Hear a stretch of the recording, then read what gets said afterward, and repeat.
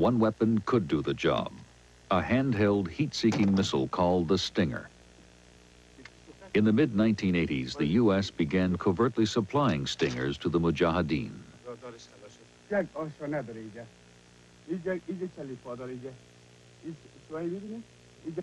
The balance of power began to shift. For a Stinger, helicopter is just a sitting duck. If it is within the range of the Stinger, then uh, the Stinger operator, I mean, will, uh, will aim it.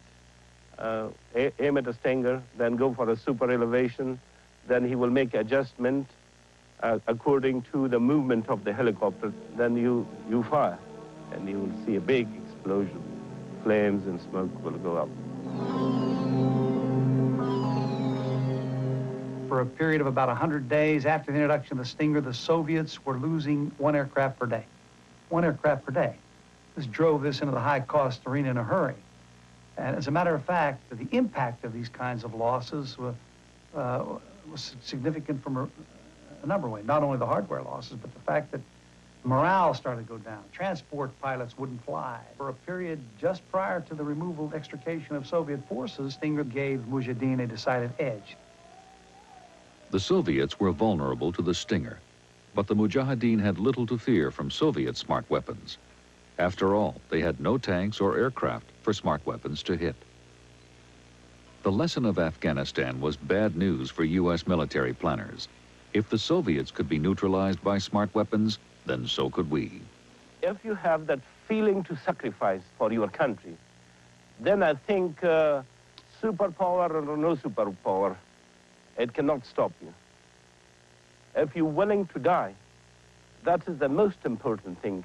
But if with that feeling is combined with a smart weapon, then uh, the superpower is gone.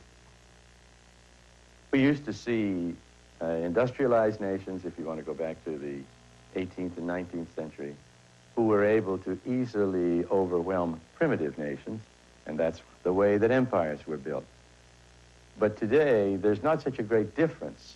The gap is closing. Smart weapons are proliferating rapidly.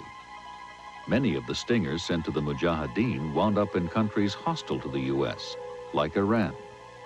It would be easier to, to probably say who didn't have smart weapons and try to list all of those that do have smart weapons. Smart weapons are supplied by all the industrial nations in the world. Uh, for example, United States, uh, Soviet Union, France, certainly, Italy, Israel, uh, Brazil, South Africa, England, the list goes on and on. All these countries are involved in it because it's very commercially attractive to them.